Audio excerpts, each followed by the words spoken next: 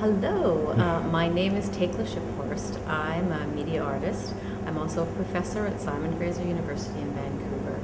Um, I work with graduate students and I do a lot of research around sensory technologies.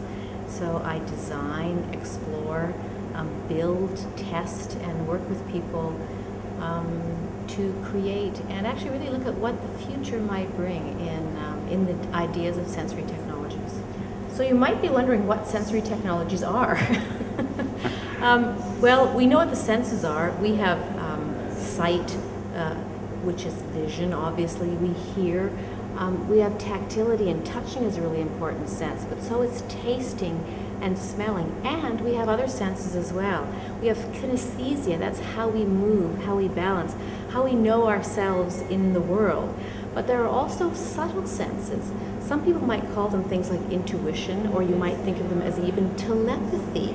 Uh, but these kinds of ways that we know our inner selves and our outer selves physically and in an extended sense is a part of um, the senses. And sensory technologies emphasize the senses, both our own, but also how technology can extend our senses in the world. So um, there are many examples in technology, and I'll talk a little bit about my own work in uh, sensory technologies.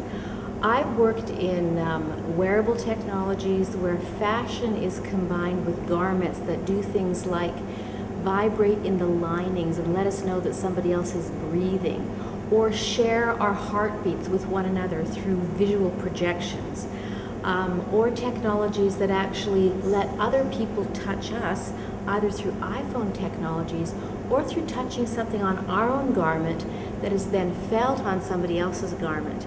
So those are ways that actually we can communicate or, or, extend our communication with each other, especially if we're in a different location than another person or groups of people. I've always been really interested in sensory technologies even before they existed. And one of the reasons is I have a background in both dance and performance. So I like to move and I like to create, but I also have a background in computer science so that I like to program and design and think about what future technologies might be. When I started doing this, though, there were no such things as interactive performances. Okay, I'm maybe not that old, but still technology has grown so much in the last five and ten years. What, what's possible now and what's going to be possible ten years from now is, is exploding um, in front of us. So, uh, for example, I, I um, when I was younger than I am now, um, maybe even as young as you, I actually um, worked with choreographers like Merce Cunningham to design choreographic software that people could actually use to design movement in a computer. These are kinds of things that are very, very common these days and don't even seem like anything special. But to come up with these ideas and then even have them accepted in a world that thought that was crazy. Um, people were afraid of things like, oh no, if you use the computer, it means nobody will dance anymore. Actually, it actually helped people dance more. And it began to allow us to explore things like two people dancing in different locations, ideas of telepresence, ideas of dancing actually with things like robots in a space. Because technology is so pervasive, we can imagine times when what we wear actually will talk to us, may make suggestions, may make us either healthier or actually excite us, so that these kinds of ways in which we move in the world or actually communicate with others. Um, one of the things that I've said is that telepathy is the ultimate wireless network. What if our technology allows us or helps us to think with others, or even maybe to hear what others are thinking and feeling? These things can help us. They can also be kind of scary, and so issues of privacy might come into it. But the design of these kinds of technologies is actually something that's here now but the really important thing that we need are people that can think into the future, that can think of how we use what's possible now and to create what people haven't thought of yet. Because this is where actually the new area of design with technology is so, so, so important. So I can give you an example. Like we all have smartphones, or many of us have smartphones that have accelerometers in them. Accelerometers mean that you can move with your phone. But how do we use that with our phones now? We use it to let us know that we're actually shifting the display. So that's that's very very useful. What if actually when we wanted to hail a cab, we would do this? And a taxi would come just like that, and or let's say that we wanted to actually communicate with our best friend, and we had a way that we moved, and our technology knows and can connect us with each other. So those are some of the kinds of ways that future technologies need to be developed by our by our fresh ideas now.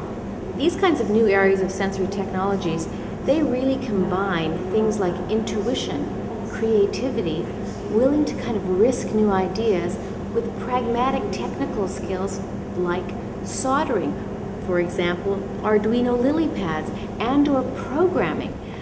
But what's even more important is the idea that we can engineer or re-engineer in a way ourselves, our lives, and how we integrate and connect with people.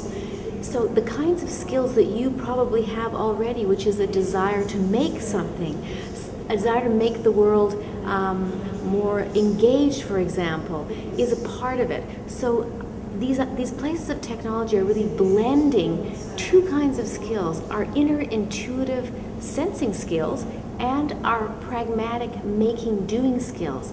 So DIY combines these kinds of things. And these things are actually very much um, knowledge that we can learn from the internet. There are multiple sites that actually look at um, getting packets that let you explore how you might actually begin to build this now and create some of these ideas and get that skill set in mind. So if you're a creative person and you know that you have new ideas and you also you like making things, you like working with your hands, Sensory Technologies is a really great place that you might think of actually working in the future. Google things like DIY technologies, make it your own, um, wearable technologies. How can I do this? There are many sites available that actually let you access materials and actually give you instructions. So you can just go down to the corner store, purchase, for example, some um, fabric that actually has metallic strips through it so you can make your own cables with fabrics and a sewing machine. Sensory technologies are really creative, but one of the other really important aspects of them is they have great potency. They are able to actually change our own ethical relationship to ourselves and others and actually have social change um, and health and well-being as an aspect of what they do and as an aspect of what they're capable of. If we think of our senses as actually how we connect and understand the world, if we're actually designing with sensory technologies, we can actually shift how we understand social structures, cultural structures, political structures, and our own structures like friendships, for example, and family. So this area of work is both DIY, but it's not only DIY with needle and thread and a soldering iron, it's also DIY with the world we live in. I was really drawn into exploring sensory technologies even though nobody was doing it at the time, but even though that was serious for me, working with materials and working with creating also has a really playful aspect. It's fun, it's pleasurable, and there are many challenges. But when you have something that you can live and breathe in and it gives you joy, it actually makes it easier to deal with those challenges. And one of those challenges is, of course, how we're going to change the world we live in in the future.